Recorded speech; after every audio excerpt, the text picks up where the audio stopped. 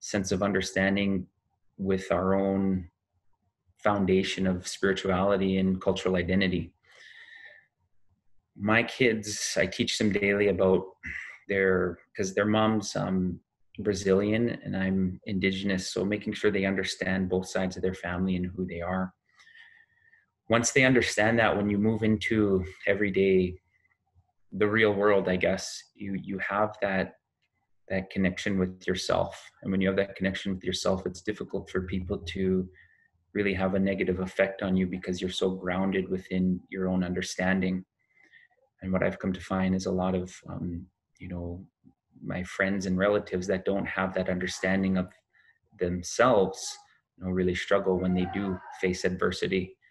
So to have my kids understand that it's not necessarily searching for a place where they um, belong because it, it has been a lifelong journey for myself to even feel like I belong in this country because with the systematic racism with dealing with it daily you know there's there's always been this subconscious feeling that i don't even belong in canada.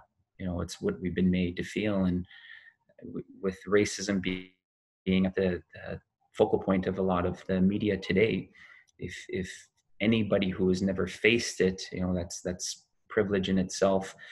So just making sure that my kids understand um, who they are where they come from their history and then to have that confidence moving forward.